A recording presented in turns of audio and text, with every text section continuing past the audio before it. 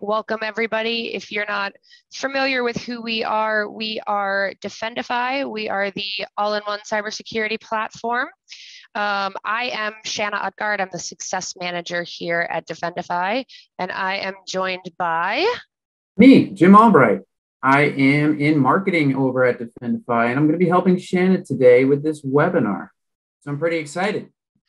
This will be fun. We got a couple people still rolling in, but we're going to get started because we have a lot of fun topics and everything to uh, cover today. So if you're here, you're probably either have experienced some phishing or you want to make sure that you're staying a little bit ahead of the curve. I can't imagine at this point that uh, people haven't been encountering phishing because it's one of the number one cyber threats that's out there. But if uh, you haven't yet, and this is kind of your intro and, and foray into spotting a phish. Welcome. Nice. Hey, All right. All right. Yay. Okay.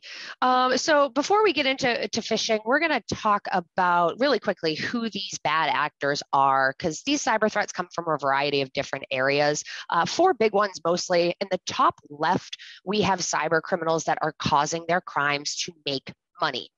In the top right, we have hacktivists who are causing their attacks because maybe they don't like a company or a political party. Anonymous is a great example. Uh, in the bottom left, we have cyber soldiers from other countries. They may even be state sponsored.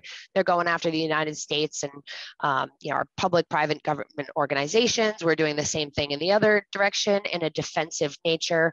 Uh, one of our advisors here, Rob Knake, wrote a great book called The Fifth Domain, talking about that cyber warfare. Been hearing about it a lot in the news lately. And then in the bottom right, we have our insider threats. So insider threats are employees, contractors, ex-employees, ex-contractors who have or had valid access to the network and data. Their actions could be malicious, but oftentimes they just do things in error. Um, you know, a great example is if I go to send an email with sensitive information to Jim, I start typing J I M, I hit enter, it auto populates, but it sends it to the wrong Jim boom, I've just sent confidential information, been moving too quickly, and I've become an insider threat. Our, our insider threat here on this slide kind of looks like he's wearing like a, a COVID mask. I don't know if that's supposed to be a beard or just some kind of like attacker disguise, but kind of relevant for the times here. Yeah. um, now that we know who those bad guys are, let's talk about the type of stuff that they are after. So the biggest thing that I hear is, well, we don't store credit card data. But all organizations have sensitive data beyond just credit cards. You could have personally identifiable information for your customers, for your employees, uh, your company information, company IP and trade secrets. What type of information do you have that you wouldn't want to get out there? Uh, we worked with a, a food company and they said nobody could get a hold of our recipes because if they did, they could make what we're making and then we don't have something unique uh, tax documents for your company, your employees. The beginning of the year, we always see a lot of W 2 scams floating around. Bank information, wire transfer details. Um, that we were chatting before the webinar about the time that I wired $2.1 million to a cyber attacker. That was not a fun time.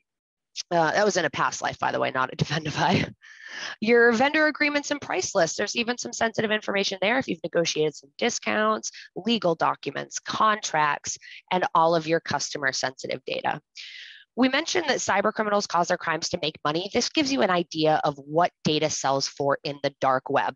If you're not familiar, the dark web is not a place that you go to with Google Chrome or Internet Explorer. You've got to use specific Tor browsers, and people go there supposedly to hide their identity. And there's chat rooms and forums, and they're selling and exchanging things that they probably shouldn't be. Um, social security numbers, you know, non-financial logins, about a dollar each. A financial login has a lot more value. Credit card information, people are usually surprised by that. Seems a little low, but it's mainly because our credit card companies do a great job of detecting that fraud while it's in action. Fullz info means that it comes with a, a lot more information beyond just the card number and CVV. Um, the more information that goes along with this, as you can see here, the more valuable it is. So medical records continue to top the charts. We see it over and over again again because there's so much information in them you know the the personally identifiable information, health information, social security numbers, insurance. So we've seen insurance fraud. We've also seen crazy things like extortion of a CEO of a company because they had an undisclosed medical condition. They didn't want everybody to know about it yet. Uh, and that was used against him from medical records. So now we know who the attackers are and what type of information they're after. There are a lot of different tactics that they use, but most of them contain a social engineering component. So that is you know, use of deception to manipulate people. Uh, it's kind of like people hacking, I like to call it. And the most prevalent of all of those is phishing. So we're, we're sending those emails pretending to be somebody that we're not in an attempt to get you to reveal some type of information. Back in the day, this was kind of a shotgun approach that targeted large numbers of people at one time. You may have may remember the Nigerian prince who had millions of dollars to get out of the country. Believe it or not, we do still see this quite a bit.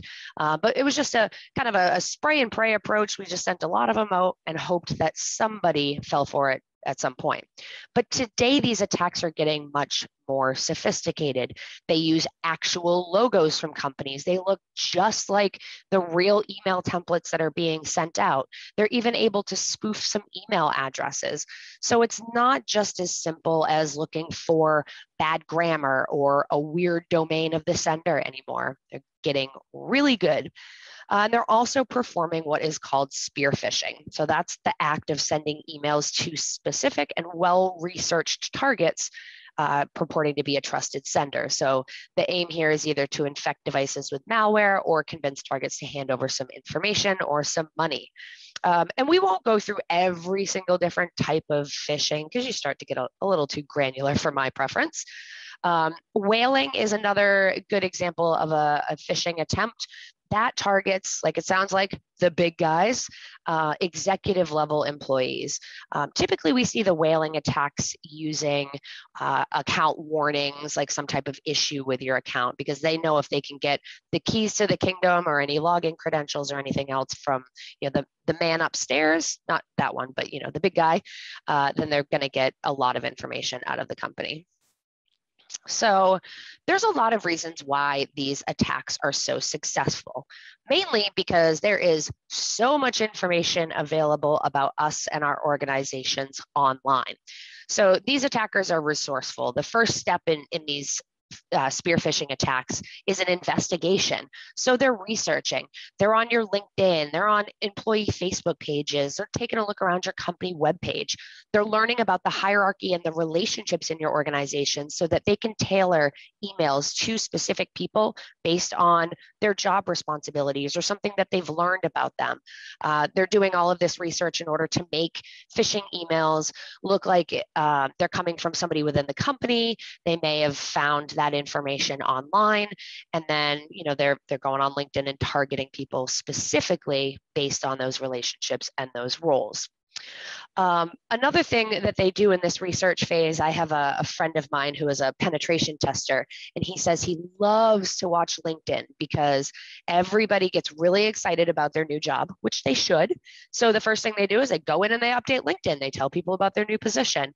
Uh, they continue with their, their networking efforts. So new employees are particularly good targets because it's a new role. They're eager to please, and they're also unfamiliar with internal processes. So, my friend who's a penetration tester watches for these types of things. So do the cyber attackers. Um, they're looking for those new position posts and updates. Um, sometimes they even will make a fake profile on social media, connect with other people in the industry, you know, your friends, your coworkers. This is a tactic called gatekeeper friending. Um, we've seen them craft different bogus connection invitation emails and, and victims logged into their real LinkedIn account, didn't even see the real request.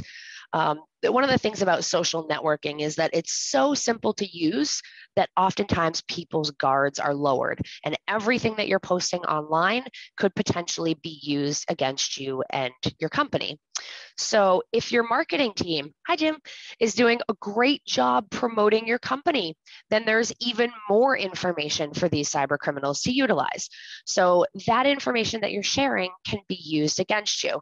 I've talked to several companies who have been of a scam that says, you know, hey, this is Jim. I'm at the CompTIA event. I we, we're slammed in this booth right now. I need a giveaway. So can you go out and buy $1,500 worth of gift cards and scratch off the backs and email me the numbers? It's just so crazy busy in this booth right now. If, if you try to contact me, I probably will not be able to respond. So be conscious. It's not to say don't promote those things on, on social media, but just keep your guard up in that case because you've shared that information online. It could be used against you. Jim, are you going to say something? Oh, I'm just looking at the chat and it's all yeses. Yeah, this a lot of yeses. I tell you, yeah. Exactly. I, I, think the uh, gift card thing is a, a, very popular, and then pretexting, which we're going to talk about. A lot of people have usually seen that as well. Uh, so just when you're out promoting events and things that you're at, make sure that your employees know to stay hyper vigilant during those times because that's information that could be used against you. Another thing here about social media sharing, while we're talking about that, I like to call it social media oversharing, we give away a lot of information on social media. And we also couple that with some pretty poor password habits, which is a topic for another time. But uh, we give away a lot of information that could hint at our possible passwords.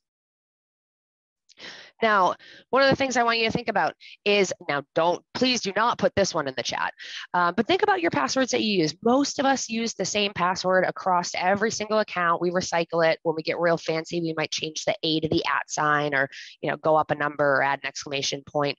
But I want you to ask yourself in your head, please not in the chat again, uh, if you include any of this type of information in your password, your pet's name, your children's name, your spouse's name, significant dates like your birthday or your birth year, your anniversary, your kids' birthdays, um, other family members' names, your hobbies, your vacation spots, your favorite sports teams, any of that type of information we probably uh, could find on social media. Um, also, security questions. A lot of that information, people do these little surveys all the time on, on social media that are basically, if you think about it, asking types of questions that could be used for security answers.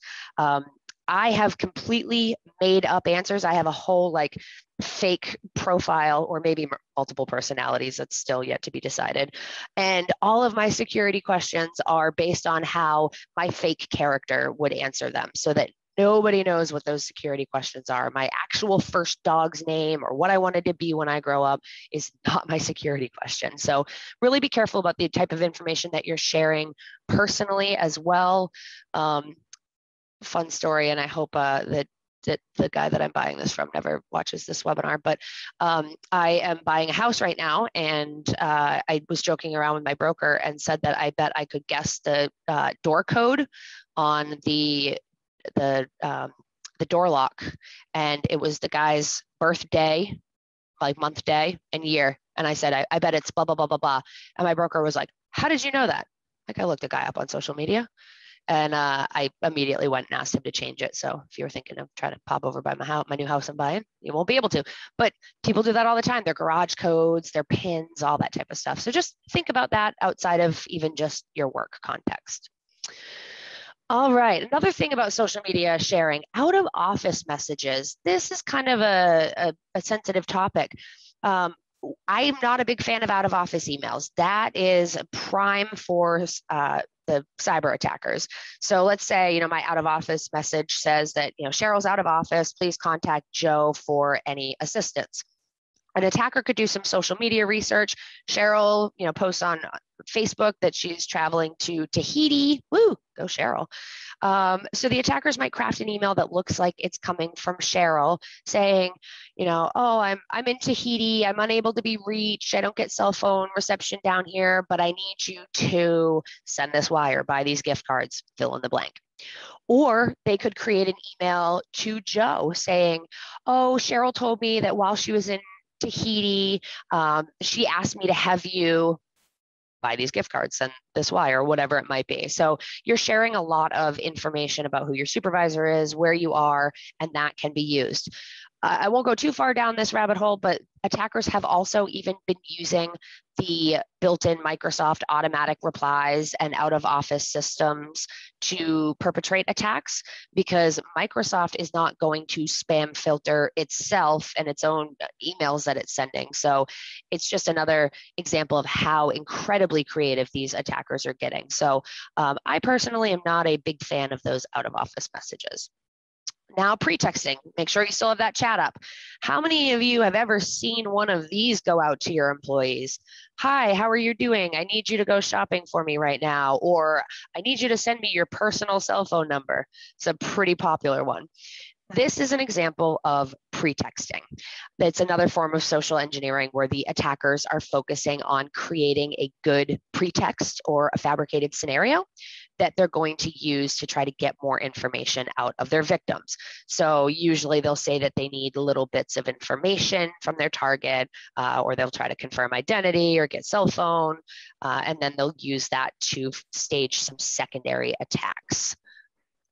So Shanna, I'm, I'm seeing a lot of yeses here, and I'm also going to throw out there even chatbots, right? So think about this: they can go into a company's chatbot and start asking questions about other people within the organization to try to get some information. We happen to see that quite frequently recently, I think yeah, chatbots are a, a, big attack method right now. So if you have one of those on your website, that's where it really comes in for some of that employee training. Uh, if you have, obviously, people are going to be answering the phone at your organization, it's really important to provide some training for the people that are responding to those inbound chat requests or answering the phone about giving out uh, information, whether it's you know executives' phone numbers or email addresses, or even little details about them. It, what might seem like an, an innocuous question could be used as a piece of information that they're gathering to stage those secondary attacks. I know we're talking today about phishing, but vishing is the same thing. It's just conducted by phone and it targets those assistants, receptionists, a lot of times like your finance team members. Uh, they might pose as like your your internal or outsourced help desk support uh, or you know tech support uh, could be pretending to be a, a bank a vendor a customer. Uh, a lot of the times they'll call towards the end of the day they'll act really angry and frustrated and like they're in a hurry and the employee just wants to go home and make dinner and deal with screaming kids all night and they just want to you know answer the request and be able to clock out for the day. So you know they might look up your company figure out who your it person is call up and pretend to be like oh hey this is john from it as i found that information on linkedin. I need to blah blah blah alphabet soup some it tech thing that you probably wouldn't understand anyway. So i'm going to send you a link or i need you to go to this website or what's your password so that i can fix this problem uh, and a lot of employees especially if they use the right name or spoof a phone number will give give that type of information up. So um, having clear defined processes and setting those expectations with the employees is very important. Jason had a quick question here before we move on. Curious as to an alternative to your out of office. Um, what if I go on vacation? I just have my emails forwarded directly to whoever needs to see them. Um, so just going in and, and, setting up some email forwarding.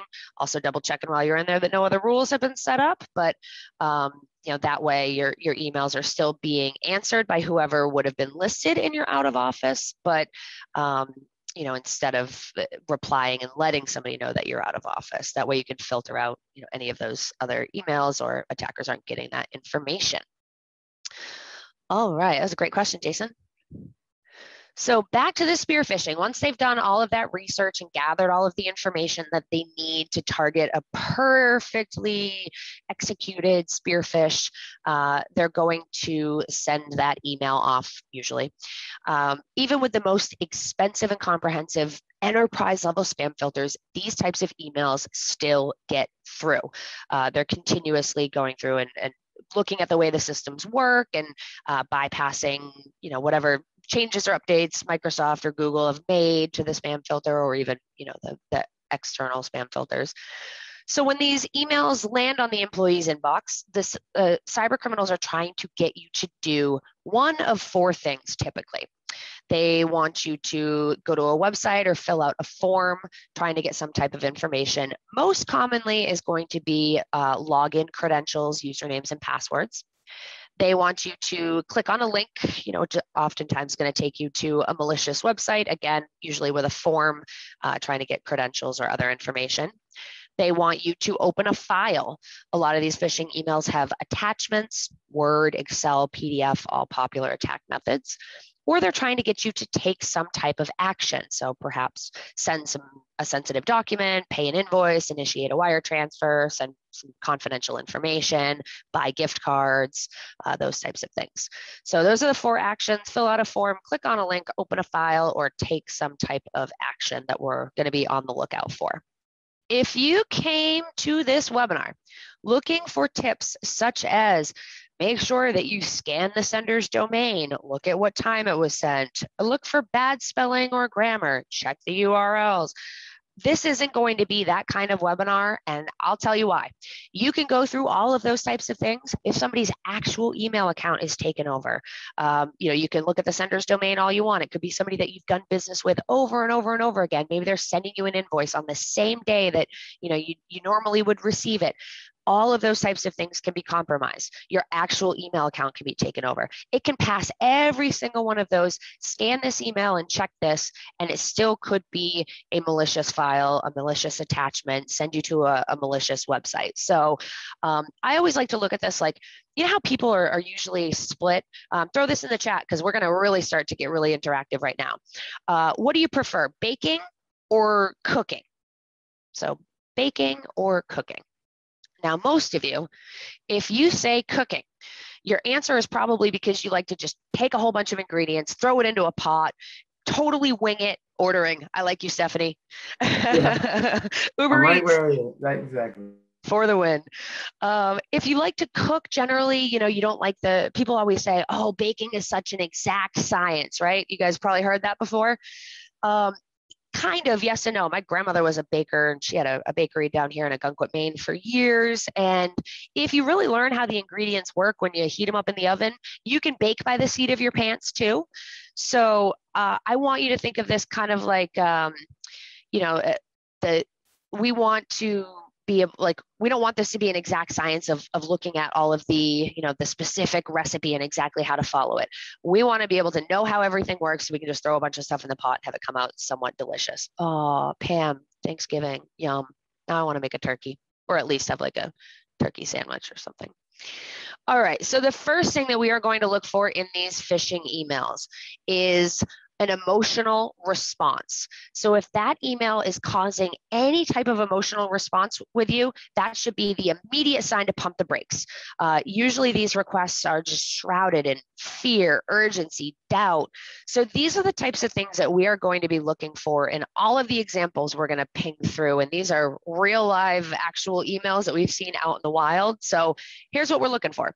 We're looking for the fear emotion. So is it some type of, you know, unauthorized unauthorized login, a cancellation notice, like some something that is causing you to go, greed. So there's a lot of uh, money mule schemes, or I saw an attachment one time that said like company payroll. There was even a, a, USB stick that was dropped in a parking lot as part of a social engineering experiment, and it said payroll on it. Oh, that one got plugged in a lot. It's a great thing. You want to see how much people, also curiosity, um, see how much other people make, or you know, make some extra money, whatever it might be.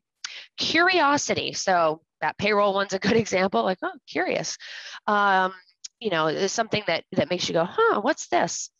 helpfulness so um, you know fulfilling some type of request uh, we see this a lot with like you know the phone type of scams and new employees um, also there's a, a, outside of work. I'll give you some examples today that will help you outside of work as well but you know you get a call that says that your friend is stuck in another country and they need some money. It's a, another helpfulness play. Uh, urgency so anything with like you know deadlines time limits somebody is unable to be contacted during that time. Um, you know we're going to shut off your account ban you from whatever the system is and then reward or penalty. So it could be something, you know, great, and I'll give you some examples of those, or it could be a penalty. You have to do something to avoid the bad thing happening. So these are what we're looking for fear, greed, curiosity, helpfulness, urgency, reward, and penalty. So get those chat boxes up. We're going to start cranking through some of these examples because instead of just you know catching some fish, we're going to learn to fish here. Pun intended. Uh, and another thing here, this is what these attackers are after. So this is piece number two to keep in mind. They're trying to get your credentials, your logins, your usernames and passwords. They're trying to get information about your financials or your identity, your intellectual property, maybe yours or a client's or somebody that you work with, you know, bigger, larger enterprise organizations, or they're just trying to flat out extort you for money. Um, we worked with a, a company here in Maine who the guy said on the call, we blow holes in the earth. and they had a ransomware incident that kept that, their network down for a month. And he said, I didn't think we had any type of information. We're literally just like hardworking Mainers that just blow things up. And I said, You have money. If you have $10 and the cyber attacker can extort you for eight, they're going to. So, logins, financial or identity information, intellectual property, or money. So, here's a first example of a phish. So, this is um, what's an example of an account verification or a type of email to correct an issue. So, um, like an issue with payment, or we need, in this case, need you to add a recovery phone number, uh, account lockouts, unauthorized logins. So, in your chat box, let's have that up here. Um, we want, I want to know which emotion this plays off of. Is it fear, greed, curiosity, helpfulness, urgency, reward, penalty? Could be more than one. Just throw what you think down in that. Fear, greed, curiosity, helpfulness, urgency, reward, penalty. Yes, definitely fear. I think it's a little urgency too there, Shanna. Yep, urgency. So if you don't do this, your account will be deactivated shortly. All your email data will be lost permanently. So we've got a penalty in there as well. So we got fear, urgency, penalty. Great job, everybody. Next one. Here's an example of 31 emails quarantined from me at bancochilecl.com to me. What do you know? Um, so I had 31 quarantine message in my spam portal. This is due to a system error. Quarantine emails will be deleted three hours. Use the button below to review, I think maybe, and receive your emails. Look, even our website. All right, so what do we got here? Fear, greed, curiosity, helpfulness, urgency, reward, and penalty. Fear, urgency. Got a clock on it. You bet. Exactly. Curiosity too. Great job, John. Yes, curiosity, because what are those 31 quarantine messages? I want to know what they are. So click the button below to review my emails. Absolutely. Perfect. You guys knocked that one out of the park. All right, here's another one. So another attack method and common uh, template that we see in these phishing attacks are anything pertaining to payment information, invoices, receipts. These are usually either attachments that are um, you know, on the email or a link to go view like a Google Doc, which is a, a huge attack method right now. So fear, greed, curiosity, helpfulness, urgency, reward, or penalty. View sheet. Uh, I actually got an email couple months ago from somebody who I had done a lot of business with, and we had exchanged quite a few documents and um, you know, he'd sent me a lot of different things. And I, about three days before we had been on a call together, this was somebody from a, another security vendor that we, we, we work with a lot. And he sent me a, a you know document link, and I what you should do in this situation, we'll talk about this a little bit more, is always, always pick up the phone and call. And I had had quite a few documents over the last few days that had been exchanged with him, and I picked up the phone and I called him and I said, Hey, did you just send me another document? And he said, No. And then I went back and looked at the email again, and in, in the fake signature block, it looked good, but in the actual like email subject line, you know, so and so has sent you a document. Uh, his name was actually spelled wrong, and I was like, oh, but he's got a really unique, kind of difficult name like me. So um, I was very glad. We always want to confirm, even if it's an invoice that I receive on the 15th of the month, every single month pick up the phone and call, just make sure. Yes, Bill, the, this will be available as a link later. Please forward this to your team. Teach everybody. So thank you. Um, so this one, a lot of different things going on here. Um, we've got some curiosity, uh, reward, because, you know, a payment report. So we want to know what that is. Uh, greed, maybe even. You guys starting to see the trend here with the emotional responses. All right, new voicemail message. We see these a lot. Voicemails, as well as scans and faxes, kind of those automated services that we have now. A lot of our voicemail systems will give us the, the transcription, the autom- the you know recording link. Um, same thing with scans and faxes. I don't know very many companies who still have like an actual fax machine. Uh, a lot of them are all digitized. Scans are coming in digitally. So this is a, a favorite attack method from the uh, bad actors. So fear, greed, curiosity, helpfulness, urgency, reward, and penalty. All about curiosity. Who yeah. is calling me right now? Curiosity, urgency. We always want to make sure that we get back to people as soon as possible. Um, you know, depending on uh, what our, our job is, it could be a reward. It could be like, you know, if you're in a sales role, it could be like a new, you know, customer. It could be a, a penalty if maybe you're in customer service or some type of complaint receiving role. Or so a lot of different emotions going on there. Let's take a look at another one. Uh, teleconferencing. So, I mean, digital transformation over the last year. Am I right? Um, a lot of people are using some type of teleconferencing software. So uh, this was an actual email, as you can see, that I received.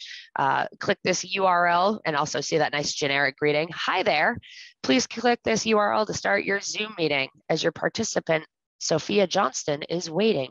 I don't know a Sophia Johnston, but still, um, this is a, um, and you can see I actually got this last week. um, a very common attack method here. If you actually go in and uh, look at this link, it's not actually a, a Zoom link. Um, but these are, and you see the email address here is zoom.outlookmailer.com. Um, so what, what's this one? Fear, greed, curiosity, helpfulness, urgency, reward, penalty. let Sophia wait. Exactly. Urgency, curiosity, who's Sophia. Have you guys ever been uh, Zoom bombed? So, you know, this could potentially be a Zoom bomb. I don't know who Sophia is. Is this a Zoom bomb? Also, curiosity. Want to see uh, who that person is. Um, could be helpfulness absolutely you know you don't want to keep people waiting so you want to jump in you want to be helpful and, and get them to where they need to be or answer some questions beautiful uh, here's another great one uh, this one also came to me so, hey, it's odd, but I've received a certain amount of strange news about you. How are you going to give details about this? A little Google Drive folder to avoid distribution. Ooh, thinly veiled threat. I have protected the information. This is your personal password. It's very serious. Give it some thought. Don't do this anymore. Fear, greed, curiosity, Whoa. helpfulness, urgency, reward, penalty. Pretty strong language in here. Right? Mm-hmm. And I like how it's kind of like, I don't nat even want even to speak with you after this. Exactly. Yes, helpfulness penalty this is uh, this is definitely a curiosity one we see these types of things all the time is this a picture of you on social media and people click on it all the time you know there were the joke ones that went around for a while like i can't believe this person did this and then it took you to your own social media page and especially because that one was a previous you know joke. A lot of people when they get those like oh my gosh is this you? they think it's going to be one of those types of you know little like joke social media things that, that are going around the, the modern day like chain email. Uh, but it's not. It's actually a cyber attack. So that curiosity um, you know some little bit of like penalty in here because i'm trying to avoid distribution all right. And then another thing here, going back to that social media research that these attackers are doing. So they are really looking at who holds what role within your organization, and they are targeting people based on their role within the company. So, for example, if my job at Defendify is a recruiter, then for me to do my job, I have to open resumes and I have to review candidates. Uh, if my job is in accounts payable, then I have to review invoices and I have to make sure that they get paid. So they're targeting people specifically based on that job that's listed on LinkedIn. So, example, like my name is Fiona, I'm interested in a job, I've attached a copy of my resume, I look forward to hearing back from you. Um, this is a very common attack method specifically targeted for those um, you know recruiters and people in hr that have to um, you know that's part of their their job responsibilities stephanie said she just got one of these last week stephanie what's your what's your role at your organization are you in hr or did they specifically IT assistant. Yeah. So they know that you're probably the person that's going to be screening things before anybody else. So they they probably targeted you. Did anybody else get one or or just you? Oh, yeah, exactly. Just her. So they're they're doing their research. They're smart. They're taking the time. It's not just that Nigerian prince anymore. So um, they're they're very particular in who they're sending these to. Um, so fear, greed, curiosity, helpfulness, urgency, reward, penalty can throw those in there. Um, I highly, highly, highly recommend. I mean, there are definitely, we could go down a rabbit hole of different technology solutions that you could use to, you know, sandbox some of these attachments and be able to view them without, you know, making a, a big old mess or utilizing one of those types of platforms where they have to submit any applications through, um, you know, that, that website or that third party service so that, you know, you're getting a little bit of extra protection. Uh, I actually, when I applied for for my job at Defendify, I sent Rob my little cheeky cover letter and my resume and I didn't hear back. And then I was like, oh, goodness, of course you're not going to just open an attachment from a stranger. So then I went in and applied online and then I got a response back. So uh, make sure that you're directing people to respond through one of those portals or one of those other ways and not answering those emails that come in directly to your organization. All right, so it goes even further than computers. Text messaging is also an attack method. Every single one of these text messages that you see here is an example that I have received to my own personal cell phone.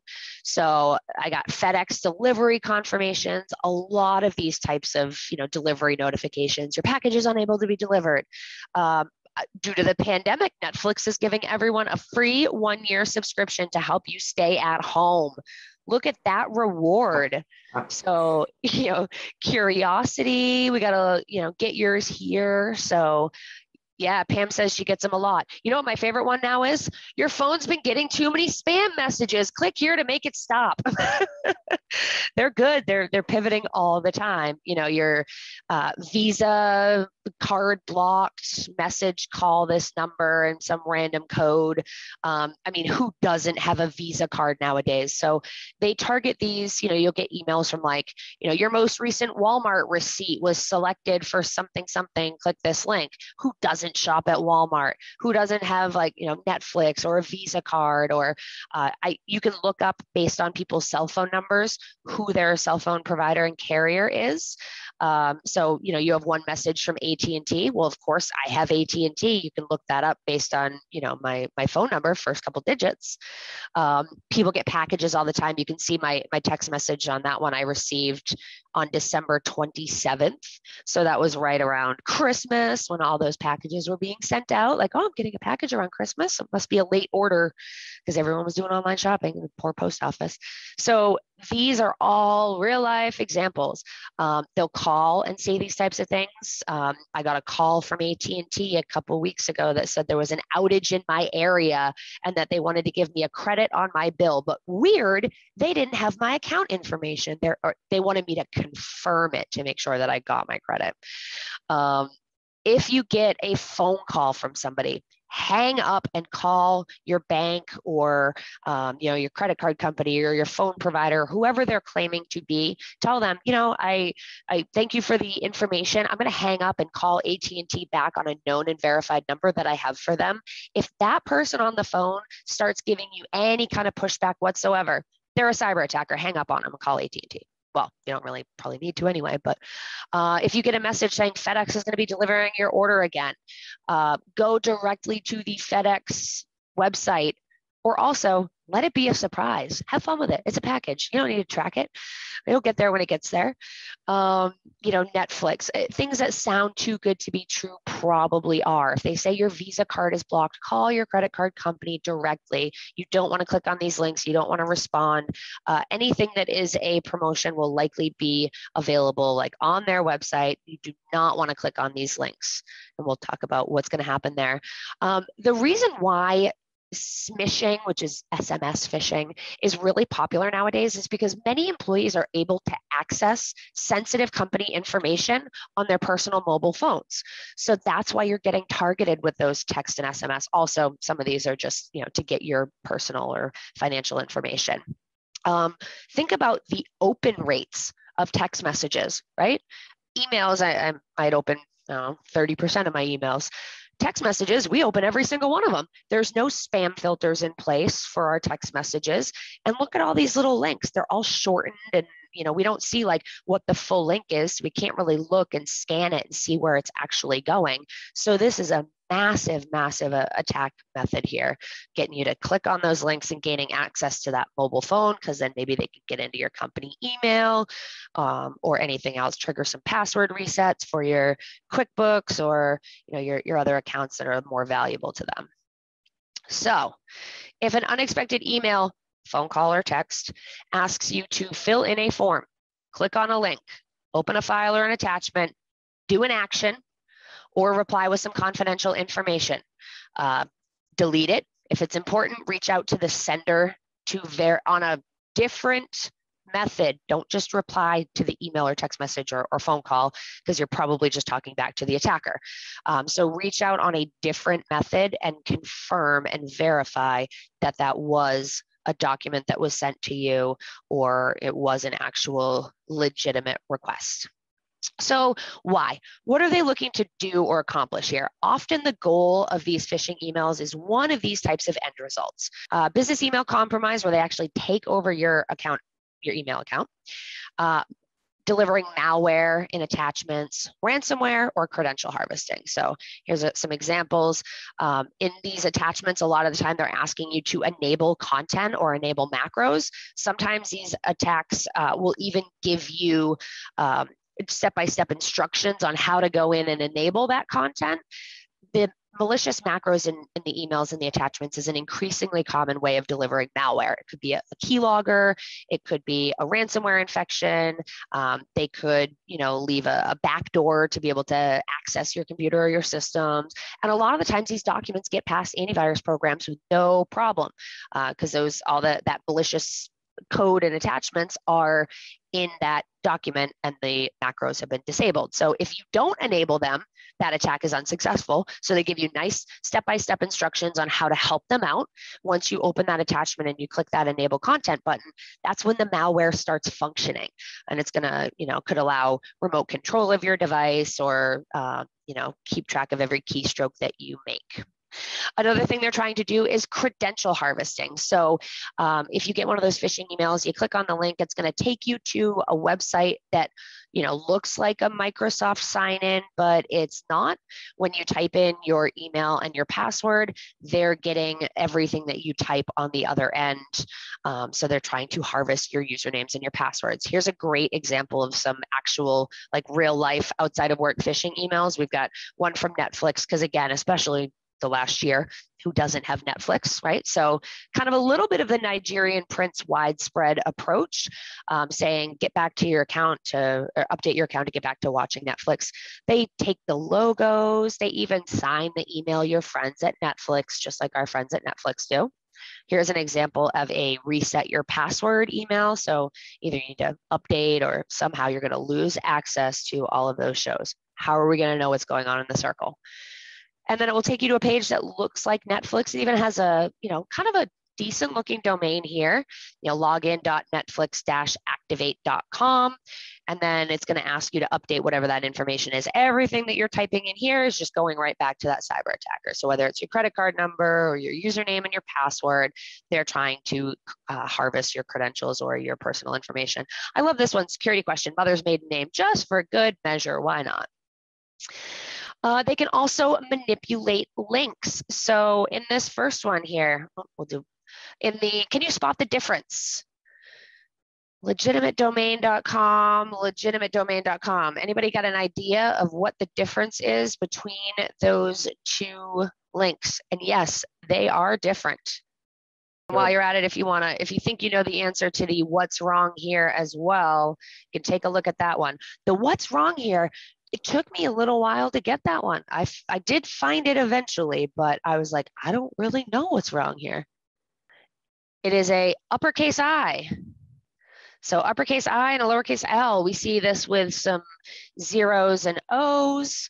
Um, we see domains that have RN back to back instead of an M. So there are ways to manipulate those links. And the what's wrong here, Instagram.com slash verification. Todd says, I'm not sure what the character is called. Which which character? Oh yeah, I, I see what you're talking about. Yes, Duncan, the A in gram, that is an alpha symbol. So you see the first Instagram A and then the second Instagram A. Yes. So a lot of people just looking at that really quickly wouldn't notice the difference. So crazy. And then I hate to break it to you, but it gets worse. So there are domains that are actually allowed to be created in international characters. So this is a proof of concept from a, um, a cyber researcher. And basically, what he did is changed all the characters here. Like the A in ASCII is different from the Cyrillic A. So typically browsers, uh, they won't let you have kind of a mixture there of different languages. But if you put all of the characters replaced with a similar from the same language, um, the browsers bypassed all of those defense mechanisms that, that, that, they have in place. So this looks like it's going to HTTPS. We've got the secure lock screen and everything. So of course it must be secure. Apple.com that's really in a kind of a different language, and it is taking them right to something that looks like apple.com so this is a, a, really really sophisticated attack and, and this you know attacker did put like hey there this is just a, a proof of concept here that this is a, a security flaw. But um, it could have been a page that ripped off Apple and looked exactly like you know their account and had some type of promotion or special or log into your you know your your Apple ID account or anything. So um, the best practice here. Anybody want to throw that in the chat? What you should do if you see some, you know, oh, click on this, apple.com copy and paste in a different font, just open a new browser tab and go directly to the page that you are looking at. So if it's a FedEx notification or an Apple type notification, just navigate directly to that website, bypass that link completely because it could be fake.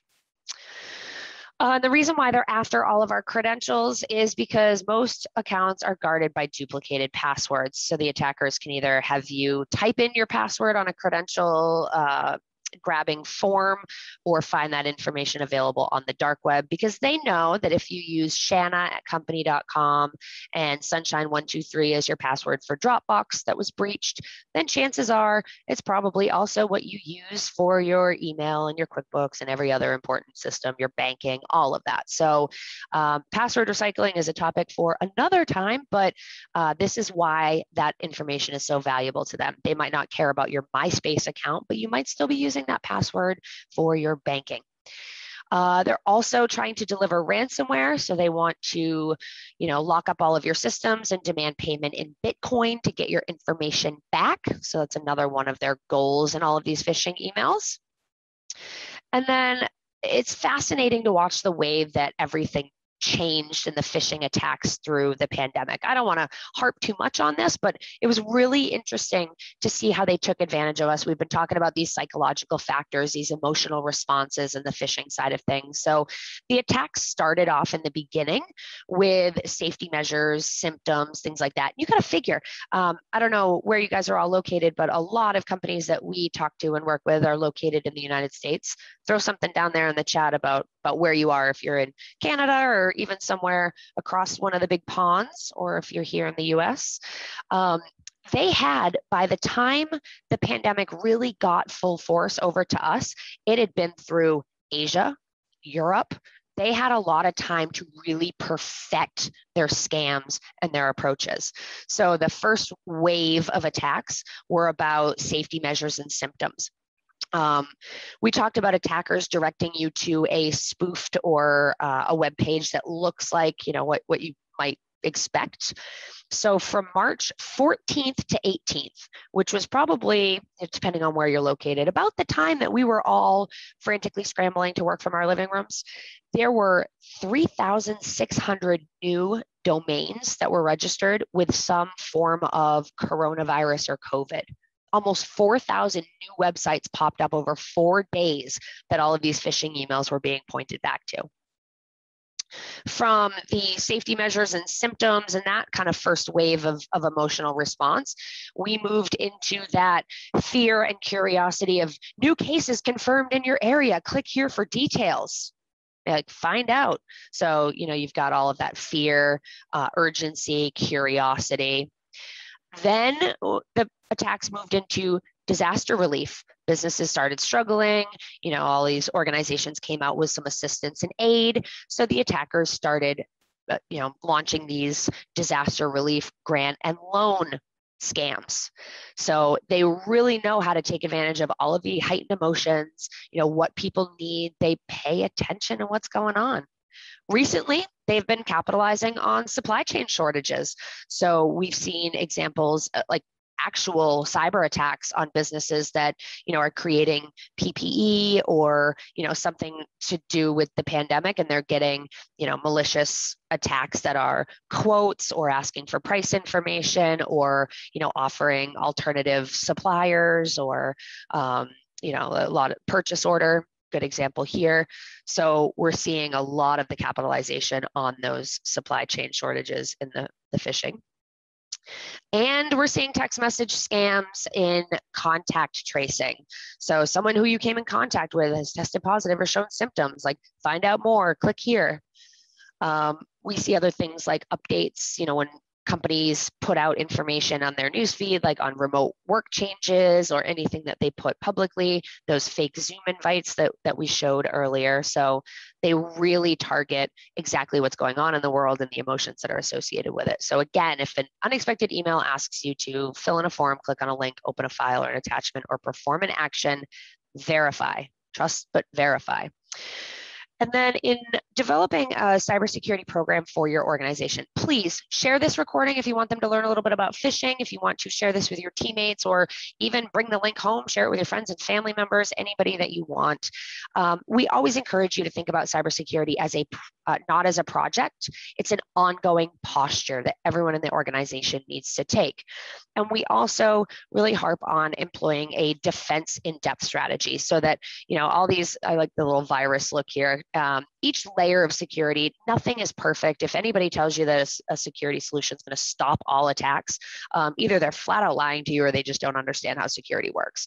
So every piece of, of our defense strategy has some holes, it has some weaknesses, kind of like some Swiss cheese. But if we layer enough of those pieces of Swiss cheese on top of each other, you know, eventually we're going to have less and less holes that any of those attackers or viruses or malware are going to be able to get through, you know, and, and get all the way down to the end. Is it possible that, you know, all the holes line up and they're able to get all the way down to the end and, and access our systems? Absolutely always possible. Um, but the more pieces of cheese we have in place, the better protected we're going to be. And you need multiple layers. So we believe in a layer of technology beyond traditional antivirus and firewall, a culture of employee awareness, because your your cyber defenders are either a strength or a weakness, and then a strong foundation of policies, procedures, and plans. So when it comes to rolling out a cybersecurity awareness program, we really recommend starting off with a cybersecurity assessment. No doctor's just going to start ordering, you know, medication and, and procedures without doing some testing and, and some diagnostics first and determining what the problems are before they just jump right into treating them. So, um, you know, do a full risk assessment, find out where you stand, and then on the employee side of things and building a security program, you want to make sure that you have a couple elements in place a clear technology and data use policy. Everybody likes to know what the rules are. You know, we inherently most of us want to follow the rules. We want to have clear expectations and we want to have those expectations across all employees. So have clearly defined policies that everybody signs off on on how to use technology. And also have a written uh, incident response plan so that um, your employees have confidence that you have those precautions in place for you know the inevitable breach that is going to happen. Um, i always like to tell people to operate under that assume breach mentality. Um, but provide them a process for identifying that an incident is occurring build that confidence up give them a way to report suspected breaches and encourage them to report these types of things you don't want employees that go oh crap, I think I just did the thing, but I'm not really sure and I don't want to tell anybody anybody about it. So I'm just going to uh, just pretend that that didn't happen and just close out the window and everything's fine. We see this all the time in our phishing simulations. People will like click on the link, they get the little oops screen, and then they just close it out like, I didn't do that. And then they never say anything about it. So you want to encourage that, create a culture where employees are, you know, reporting these types of incidents so that you can investigate them. It might be something that needs, you know, some further remediation. It might be nothing, but at least they're reporting them as they come up. And then bring everybody together. I mean, a lot of companies do once a year awareness training where there's a video in the Defendify in the platform that checks the box from an annual cybersecurity training perspective. You know, a lot of people need that for compliance requirements. But to me, that's if somebody tells me I got to build a fence, I can build it out of bacon. Is it going to keep anybody out of whatever I put that fence around? Probably not, but I checked the box for compliance. I built the fence. Uh, so eh, annual training is great. We've got a video that takes uh, employees through just basics, um, phishing, malware, ransomware, two-factor authentication, password health, things like that. But you really want to follow it up with ongoing micro learning videos that are up to date about current scams and threats. Um, these benefits, all these provide a lot of benefit outside of work as well. A woman the other day told me that she plays the awareness videos for her husband and son every month when they come out because you know it helps her keep her loved ones safe.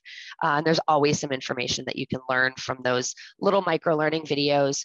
You know, and set the expectation with the employees about the security program. You know, they got a whole month to watch a three minute video. Not too difficult.